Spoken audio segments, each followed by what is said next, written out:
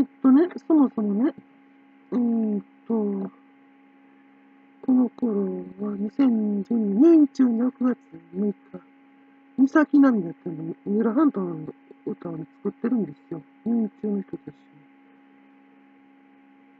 うん。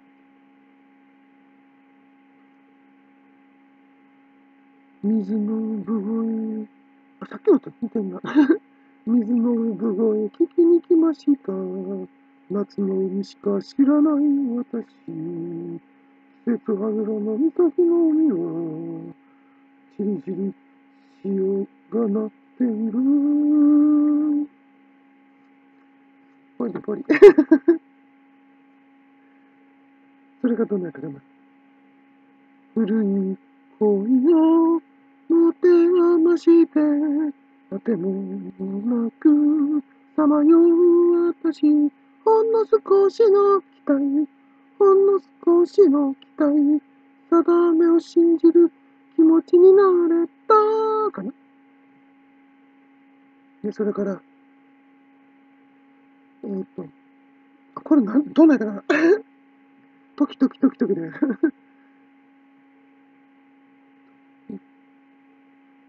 時々、時々時々ちゃう。時々、ん？時々時々海は流れ、ぷくぷくぷくぷく戻ってくる。やしろ、やしろ、や、やしろか。岬、えっ、と、選んで。時々時々海は流れ、ぷくぷくぷくぷく戻ってくる。ね、好みの。好みの獅子をだってそう。いつかここへ帰る、いつかここへ帰る。三崎涙。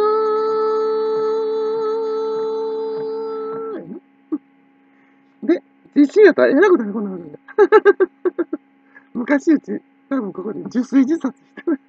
くっさいね、ど、次元かな次元が違うじゃん。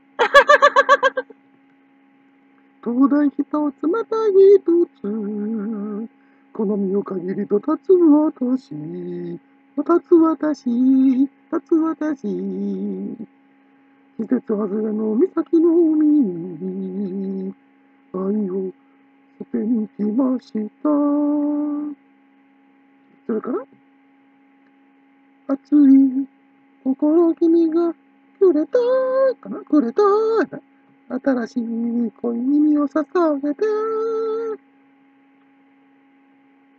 ささやかに星ささやかに星定めを信じる気持ちになれたそれから何ですか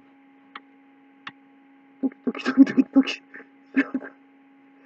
八代海の塩が、えっと、あそんな感じ。